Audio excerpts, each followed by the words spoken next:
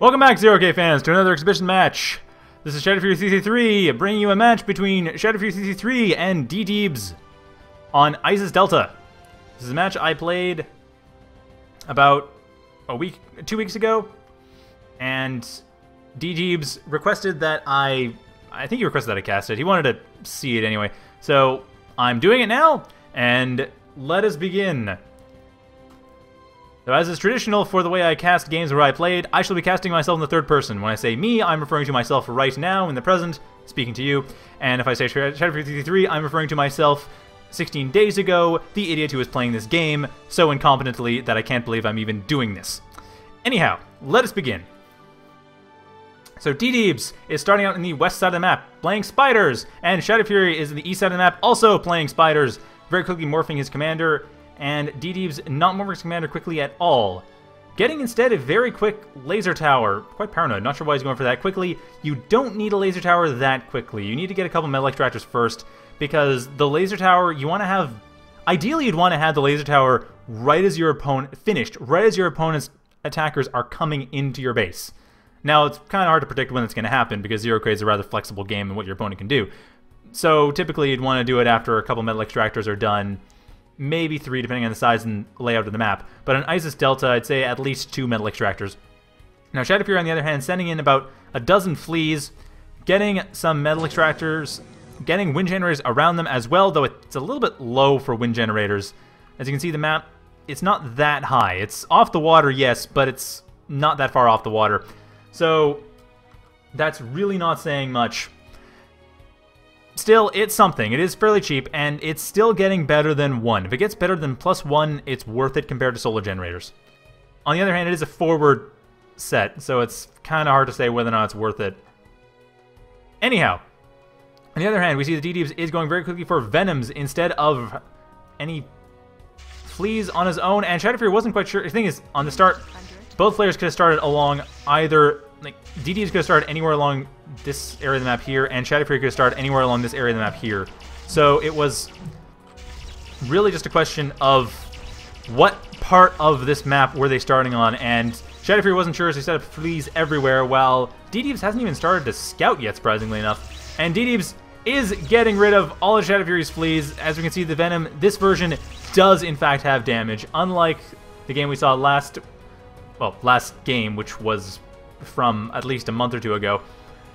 This is recent enough that the Venoms do have damage, and that's that means a lot here. Now, Venom is coming in from Shadow Fury as well, and that's going to be probably beating DD's Venom, but it really it comes down to who gets the first shot, because whoever gets the first shot will be able to probably stun out the other, and it looks like DD's Venom is actually completely bypassing, going along the cliff face, avoiding Shadow Fury's completely, and Shadow Fury is going along the shallows instead. And the Fleas doing nothing. Shadow Fury, however, now is aware of where DeeDiebS is set up, or more or less aware. Setting up more and more fleas, getting some venoms as well of his own, some more venoms of his own. Might be having too many fleas at this point. I mean, against the venoms, it's really hard to make fleas work out. If you split them up nicely, it will work, but it's hard to do. And Stardust coming up for DeeDiebS. Now, this is...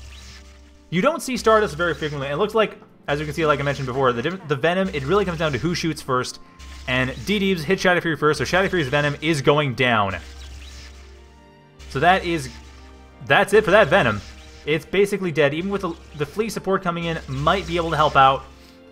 But it's hard to say. And at the same time, D-Deeb's Venom is attacking Shadow Fury's wind generators. He's abandoned construction of that for the moment, moving the Weaver out of the way so it doesn't get caught up.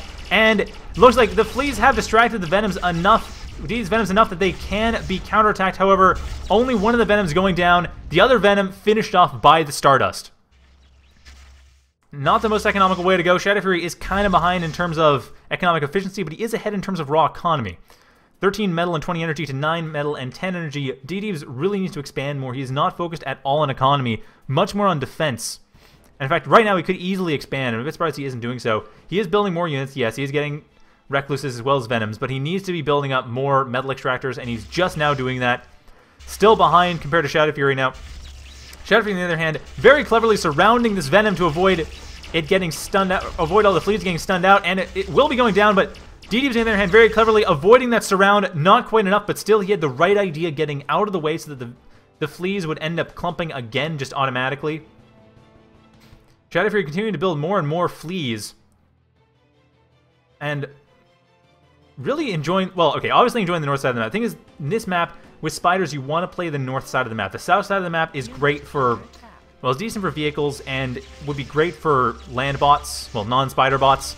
But the north side of the map is the spider bot territory. It's the only reason why DeeDiebS and Shadow Fury are both playing spiders in this map is because this north section here, which spiders can exploit to no end. But which, say, Cloaks and Shield bots exploit with a finite end. And in fact, a fairly small end, too. It's not particularly useful. You can kind of go up here and set up some defenses, but really it's... This ramp is all you have, unless you're playing spiders. And DD is trying to do what he can to just zone out this area of the map here, trying to make sure that these Venoms are just in place to stop anything from attacking. Now, one of the Venoms nearly stunned itself out, which may in fact help Shadow Fury at this point. In fact, it could very well do so. That Venom is just about into a clump, and there is a clump that DDs has made, but it's... It has actually stunned out.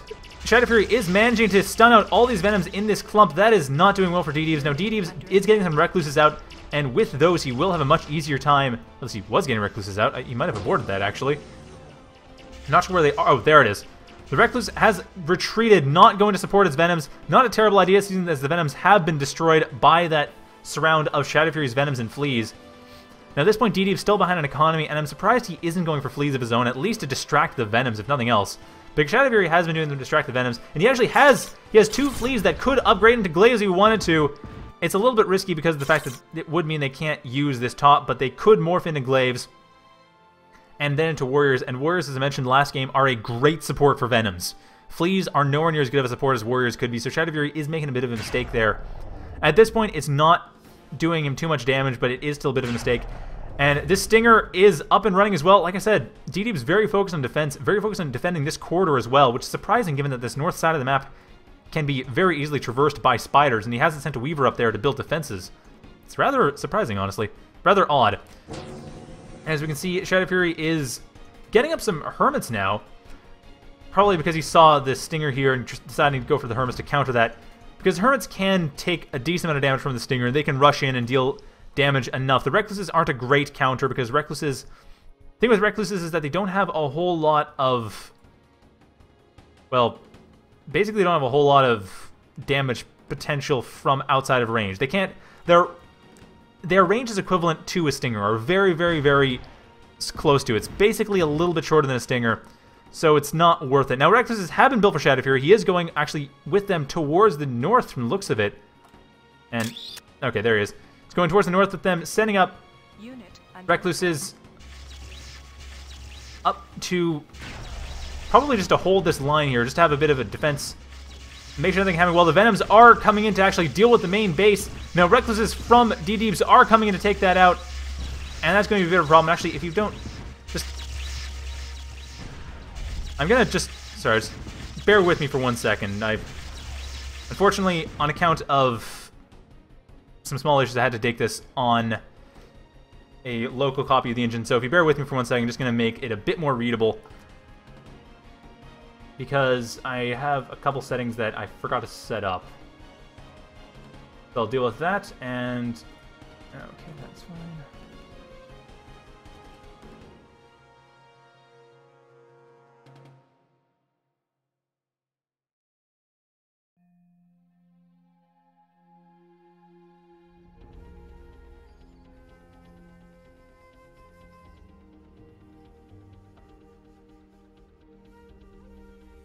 So I just want to make sure that the selected units are very obvious, which ones are selected, which ones aren't. Because there's a new thing that they added to deal with this. Okay, this is... Ah, here we are. Okay, got it.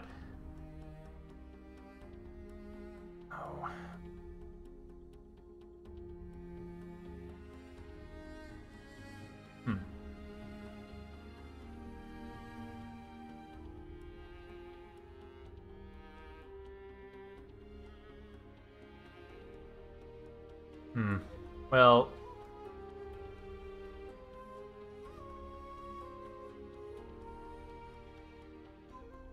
Ah, there we go. Alright, got it. Sorry about that. Or not quite. Returning to your programming shortly, I just have a small technical thing to deal with, and once that is dealt with, then we shall be back in.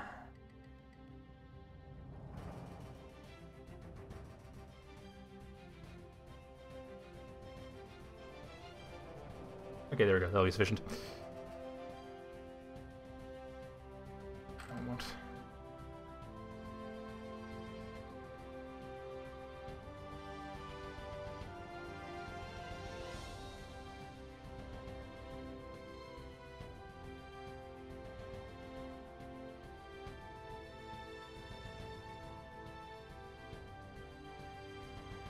Sorry about that.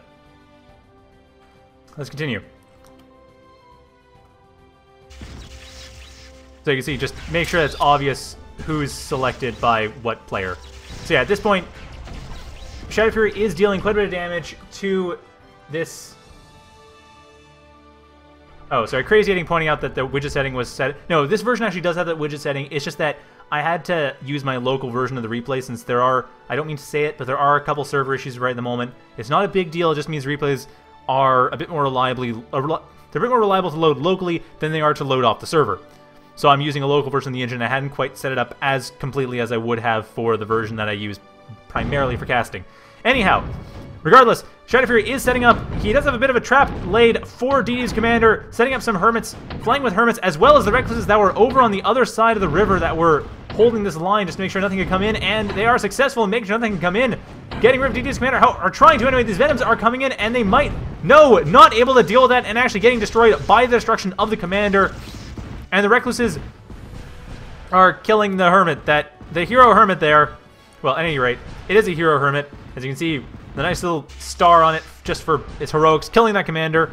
And now that commander is open for the picking. So Shadow Fury will probably be munching on that fairly soon. But in the meantime, he's going to try to deal with this. Sending in some fleets to try to distract that laser, but to no avail. And his Hermits are really what he wanted to have to attack that laser, the Stinger here. But it's not going to be that effective with only one. He kind of needs a few more just to distract it, get in, deal some damage, be able to take a hit or two. And the Rex is trying to do what they can to deal with these melee strikers, doing a good job of it too. And these Rexes down here have a major terrain disadvantage. As we can see, the Rexes on the ground are not going to be able to... Actually, well, actually, neither player is doing that great for Rexes. The missiles are hitting everything but the opponent's units. Except Shadow Fury now has a terrain advantage, getting rid of another Metal Extractor, and the Recluses are taking more damage as well, so Shadow Fury ultimately winning this Recluse fight, even if it is rather with difficulty. And D-Deeb's just about to lose that Recluse. Stinger going down. No, Stinger not going, down. I want to say. Stinger taking down a Recluse. But Shadow Fury is able to maintain control of the north side of the map on D-Deeb's side. Now, D-Deeb, once again, has not continued to expand, while Shadow Fury has been expanding quite extensively along this side of the map. So DeeDiebS at this point has a major disadvantage. He has 6 metal to 25 and no energy whatsoever. Having lost his commander, his commander had at least one energy cell on it and only one energy cell. And no more metal, no more power plants have been built. So DeeDiebS, assuming he was asking for analysis and want me to go over this replay, big thing, need more economy. You need a lot more economy. And it looks like DeeDiebS has surrendered. That is game. So yes, more economy, that is extremely important. Very, very, very important that you have more economy. Doesn't matter how much economy you have, you always want more economy. So I hope you enjoyed that. Thank you for watching, and that'll be it for tonight. I apologize for the short technical delay in the middle of that cast there.